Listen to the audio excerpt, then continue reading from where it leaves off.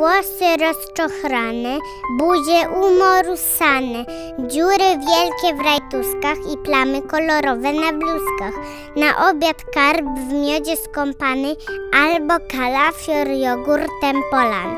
Tak wyglądałby świat, gdyby mama zadbać o nas codziennie nie umiała. Buty mokre od deszczu, a zęby czarne jak pod ziemię. Buzia aż pod czubki uszu, cała w truskawkowym drzemie. W plecaku przed podróżą ubrań moc, a wszystkie niedopary. A my zamiast biegać, jak gąsienice, na brzuszkach byśmy pełzali.